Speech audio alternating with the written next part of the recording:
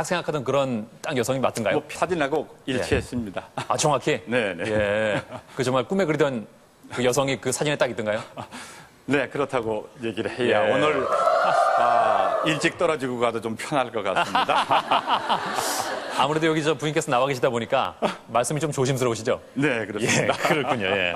자, 이제 아, 마지막 4단계에서 3라운드로 올라갈 두 분이 결정됩니다. 아, 기진욱 씨가 지금 가장 점수가 높은 상태입니다. 1020점. 예. 이번 문제 맞히면 먼저 3라운드에 올라갑니다. 문제 드립니다. 이 산의 본래 이름은 가을 단풍이 아름다워 저각산이었는데 은혜 갚은 꿩의 전설로 유명해지면서 지금의 이름으로 불리게 됐다. 강원도에 위치해 있으며 상원사, 구룡폭포로 잘 알려진 이 산의 이름은 무엇일까?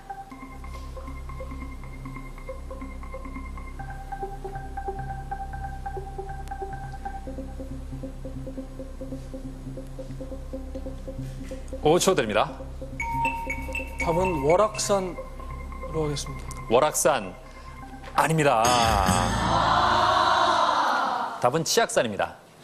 예, 아, 아쉽습니다. 먼저 올라갈 기회였는데. 자, 김영관 씨가 860점이기 때문에 이번 문제를 맞히면 먼저 올라갑니다. 문제 드립니다. 얼마 전 이스라엘의 공습으로 이 나라의 많은 사람이 죽고 다쳤으며 문화재가 파괴됐다. 기독교와 이슬람교 등 10개의 종파가 오랜 기간 공존해 모자이크 국가라고 불렸으며 서아시아 지중해 동쪽 해안에 있는 이 나라는 어딜까? 답은 레바논으로 하겠습니다. 레바논 정답입니다. 자, 이렇게 해서 김영관 씨 1720점으로 먼저 3라운드에 진출했습니다. 축하합니다. 예. 자, 이제 820의 정임숙 씨의 결과에 따라서 남은 한 분이 결정됩니다. 문제를 맞히면 1640점이 되면서 3라운드에 올라가고요. 만약에 틀리면 1020점에 기진욱 씨가 올라갑니다. 자, 어떻게 될지 문제 드립니다.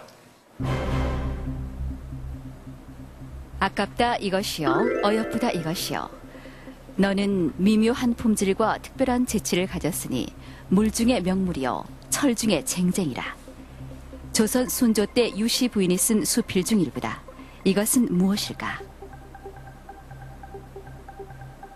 답은 바늘 하겠습니다. 바늘 정답입니다. 이렇게 해서 40점의 정인숙 씨 3라운드에 진출했습니다. 축하합니다. 나만 믿고 있었던 이 친구들 내년에는 돈 많이 벌어서 퀴즈 프로 상금 없이 내가 그냥 쏜다. 내가 가자.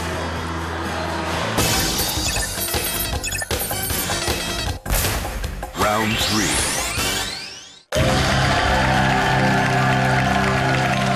3라운드 진출자를 만나봅니다. 먼저 환갑잔치는 안 했지만 영웅잔치는 하겠다. 김영관 씨입니다.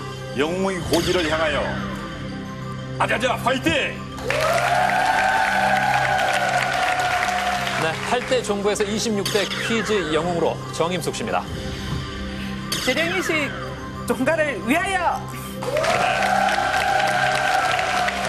네, 3라운드는 두 분 중에 7단계까지 먼저 성공한 분이 final 라운드로 진출하고요. 중간에 문제를 틀리면 기회가 상대에게 넘어갑니다.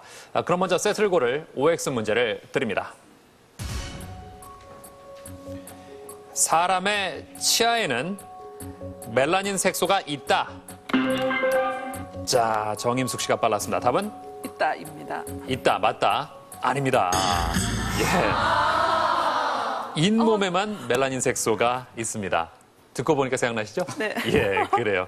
자, 이렇게 해서 아, 제시어는 김영관 씨께서 고르시겠습니다. 자, A세트는 나이, B세트는 그릇인데요. 뭘로 하시겠습니까? 나이로 하겠습니다. 나이, 네. A세트 1단계부터 문제 드립니다. 다음 중 더 어린 나이를 일컫는 말은 무엇일까 약관 부록 답은 약관입니다. 약관, 정답입니다.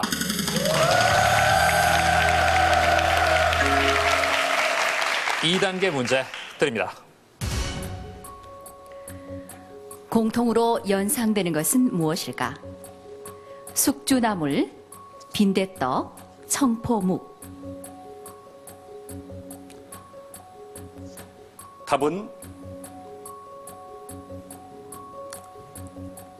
콩입니다. 콩. 아닙니다. 아, 답은 녹두인데요. 아, 예, 아, 너무 쉽게 생각하신 것 같아요. 듣고 보니까 아시겠죠? 네, 네, 예, 그렇습니다. 아쉽습니다. 자, 이렇게 해서 기회가 정임숙 씨께 넘어왔습니다. B세트 1단계 문제 드립니다. 다음 중 크기가 더 큰 그릇은 무엇일까? 뚝배기, 종지. 답은 뚝배기입니다. 뚝배기 정답입니다. 어,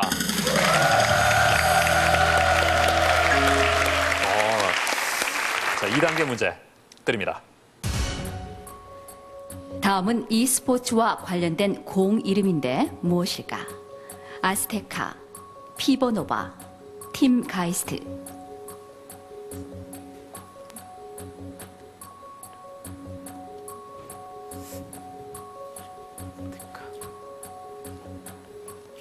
오초 드립니다. 아쉽습니다. 글쎄요, 인터넷 검색 찬스를 쓰기엔 좀 일렀나요? 답은 축구죠. 예, 그 역대 월드컵의 공인구들이었는데 스포츠 쪽엔 좀 관심이 없으신가 봐요. 죄송합니다. 아, 예. 뭐, 아니, 뭐, 죄송할까지는 없는데요, 예. 예. 아, 집안 어르신들께 죄, 죄송하다는 말씀이시죠, 그러니까. 네. 예, 그래요. 아주 저 두 분 모두 초반에 그냥 쉬엄쉬엄 가시는데 예, 너무 그렇게 여유를 부리시면 안 됩니다. 자, 기회가 이제 김영관 씨에게 넘어왔습니다. 2단계 문제 드립니다. 이것의 종류인데 무엇일까? 파초선, 합죽선, 태극선. 답은 부채로 하겠습니다. 부채 정답입니다. 예, 3단계 문제 드립니다. 공통으로 해당하는 단어는 무엇일까? 미국을 상징하는 새는 흰머리 이것. 컴퓨터 타자 치는 것이 익숙하지 않은 경우 이것 타법. 답은 독수리입니다. 독수리 정답입니다. 그렇죠. 자, 흰머리 독수리 그리고 독수리 타법. 그래요. 예. 자, 이제 격차를 더 벌일지 4단계 문제 드립니다. 공통으로 해당하는 영어 단어는 무엇일까? 키보드 없이 손으로 접촉해서 사용하는 특수 화면 입력 장치 터치 이것. 지하철에서 전동차 문과 함께 열리는 안전장치 이것 도어.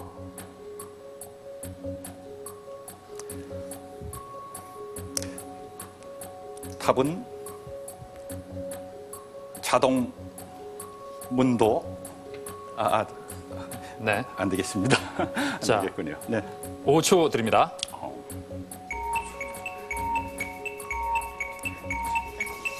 아쉽습니다. 아, 인터넷 검색을 한번 해보시지 그러셨어요. 어, 아차. 예, 아. 그저 기회가 있습니다. 네, 알겠습니다. 예. 답은 스크린인데요. 아, 예. 스크린. 터치 스크린, 또 스크린도 들어보셨죠? 네, 스크린 도어. 예, 그렇습니다. 자, 이렇게 해서 기회가 다시 정임숙 씨께 넘어왔습니다. 2단계 문제 드립니다. 다음은 모두 경상도의